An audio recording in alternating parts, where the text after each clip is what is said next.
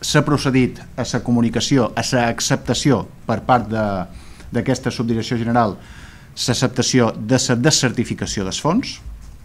conseqüència, la primera passa ja està superada i ens han confirmat que el Ministeri d'Hisenda, la Direcció General de Fons Europeus del Ministeri d'Hisenda, ja ha comunicat a Brussel·les aquesta descertificació i estan pendents de que eh, Brussel·les comuniqui eh, oficialment que aquests fons han quedat eh, descertificats i que en conseqüència eh, la Comunitat Autònoma de les Illes Balears ha perdut aquests 3,9 eh, milions d'euros i que en conseqüència som eh, part plenament afectada de eh, el eh, Coldo, el cas de, de les mascaretes. Aquesta és la situació d'avui. Esperam, esperam que en un eh, període breu de temps tinguem ja la acceptació, la constatació, el document oficial que acredita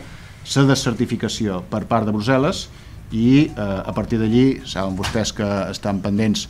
de eh, la personació a la causa eh, per part dels governs de les Illes Balears i que eh, quan s'acrediti evidentment que són part perjudicada i és obvi que són part perjudicada doncs entenem que eh, els jutjats, l'Audiència Nacional no tindrà inconvenient a acceptar la personació